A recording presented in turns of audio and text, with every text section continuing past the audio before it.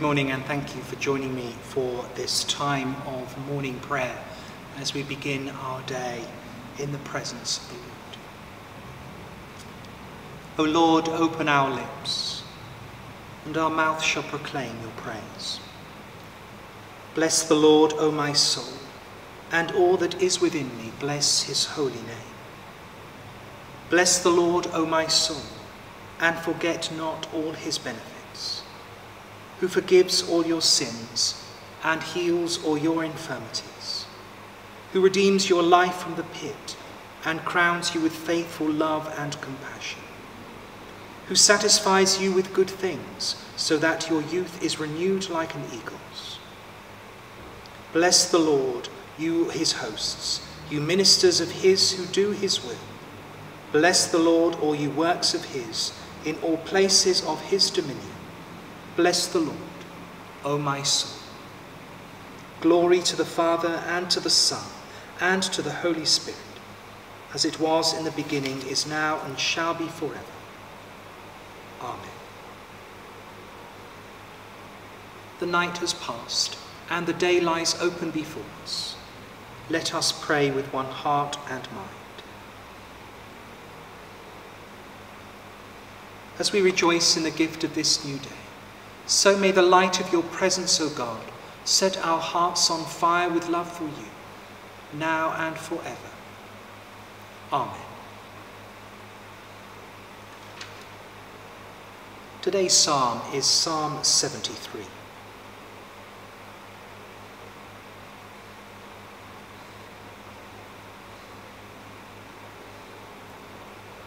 Truly God is good to the upright to those who are pure in heart.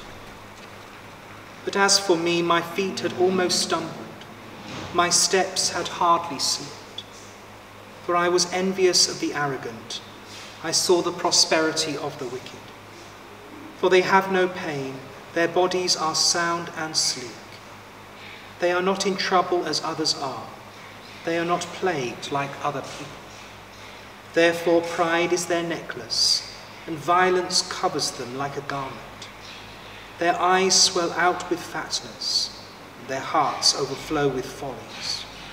They scoff and speak with malice. Loftily they threaten oppression. They set their mouths against heaven, and their tongues range over all the earth. Therefore the people turn and praise them, and find no fault in them. And they say, How can God know? Is there knowledge in the Most High? Such are the wicked. Always at ease, they increase in riches. All in vain I have kept my heart clean and washed my hands in innocence. For all day long I have been plagued, and I am punished every morning. If I had said, I will talk on in this way, I would have been untrue to the circle of your children. But when I thought how to understand this, it seemed to me a wearisome task until, that is, I went into the sanctuary of God, and then I perceived their end. Truly you set them in slippery places, and you make them fall to ruin. How they are destroyed in a moment, swept away utterly by terrors. They are like a dream when one awakes. On awaking, you despise their phantoms. When my soul was embittered, when I was pricked in heart, I was stupid and arrogant. I was like a brute beast towards you. Nevertheless, I am continually with you, and you hold my right hand. You guide me with your counsel, and afterwards you will receive me with honour. Whom have I in heaven but you? And there is nothing on earth that I desire other than you. My flesh and my heart may fail, but God is the strength of my heart and my portion forever. Indeed, those who are far from you will perish. You put an end to those who are false to you. But for me, it is good to be near God, for I have made the Lord God my refuge, to tell of all your works. Glory to the Father, and to the Son, and to the Holy Spirit, as it was in the beginning, is now, and shall be forever. Amen.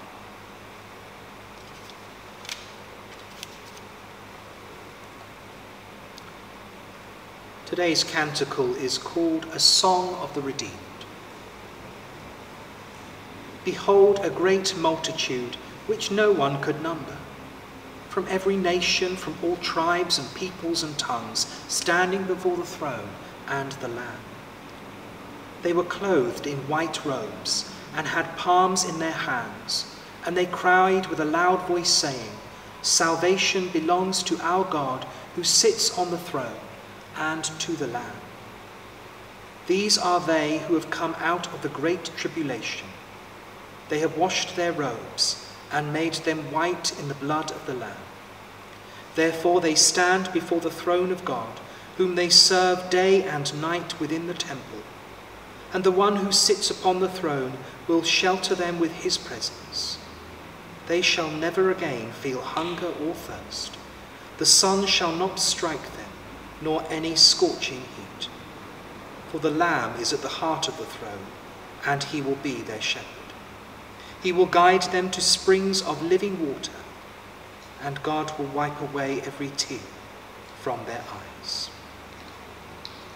Glory to the Father, and to the Son, and to the Holy Spirit, as it was in the beginning, is now, and shall be forever. Amen. Our reading this morning is taken from the Acts of the Apostles, chapter 4, beginning at verse 1. While Peter and John were speaking to the people, the priests, the captain of the temple, and the Sadducees came to them, and they were much annoyed because they were teaching the people and proclaiming that in Jesus there is resurrection of the dead. And so they arrested them and put them in custody until the next day for it was already evening. But many of those who heard the word believed, and they numbered about 5,000. The next day their rulers, elders, and scribes assembled in Jerusalem with Annas the high priest, Caiaphas, John, and Alexander, and all who were of high priestly family. When they had made the prisoners stand in their midst, they inquired, By what power or by what name did you do this? Then Peter, filled with the Holy Spirit, said to them, Rulers of the people and elders, if we are questioned today because of a good deed done to someone who was sick, and are asked how this man has been healed, let it be known to all of you and to all the people of Israel that this man is standing before you in good health by the name of Jesus Christ of Nazareth, whom you crucified, but who God raised from the dead. This Jesus is the stone that was rejected by you, the builders, but has become the cornerstone. For there is salvation in no one else, for there is no other name under heaven given among mortals by which we must be saved.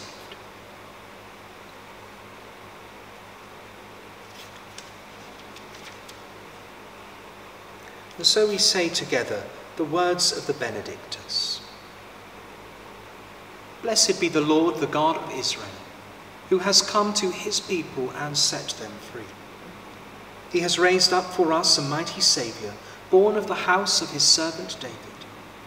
Through his holy prophets, God promised of old to save us from our enemies, from the hands of all that hate us, to show mercy to our ancestors, and to remember his holy covenant. This was the oath God swore to our father Abraham to set us free from the hands of our enemies, free to worship him without fear, holy and righteous in his sight all the days of our life. And you, child, shall be called the prophet of the Most High, for you will go before the Lord to prepare his way, to give his people knowledge of salvation by the forgiveness of all their sins. In the tender compassion of our God, the dawn from on high shall break upon us, to shine on those who dwell in darkness and the shadow of death, and to guide our feet into the way of peace. Glory to the Father, and to the Son, and to the Holy Spirit, as it was in the beginning, is now, and shall be forever. Amen. And so let us pray.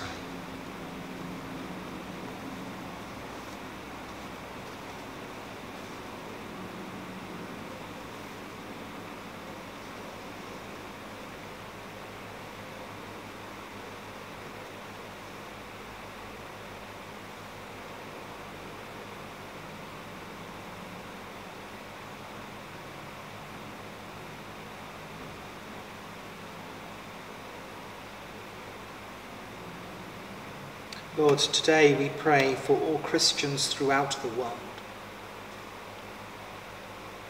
That each one of us may be a servant of Christ, truly and faithfully following his teachings.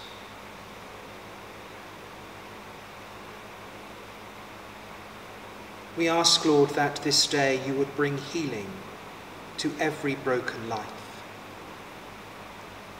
that you would give release to those who are consumed by bitterness.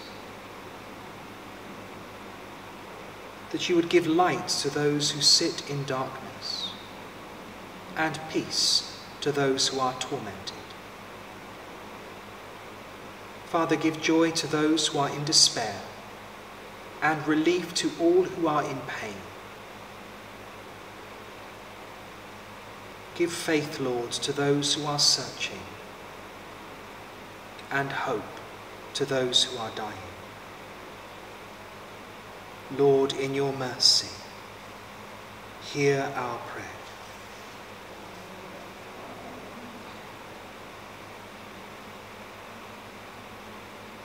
Father, enlarge each one of our hearts, that it may be big enough to receive the greatness of your love. Stretch our hearts that it may take into all those who are around us in the world.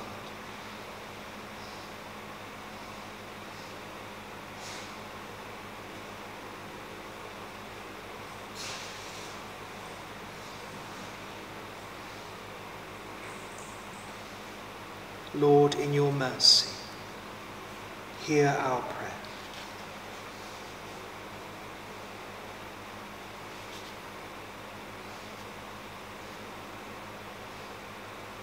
Lord of heaven and earth, as Jesus taught his disciples to be persistent in prayer, give us patience and courage never to lose hope, but always to bring our prayers before you through Jesus Christ our Lord.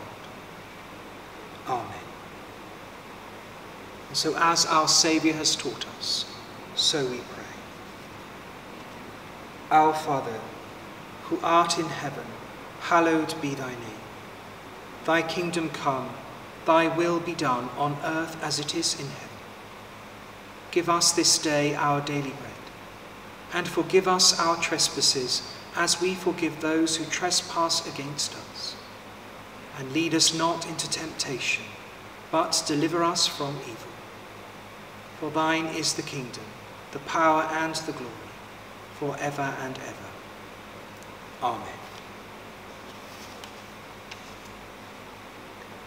The Lord bless us and preserve us from all evil, and keep us in eternal life. Amen. Let us bless the Lord. Thanks be to God.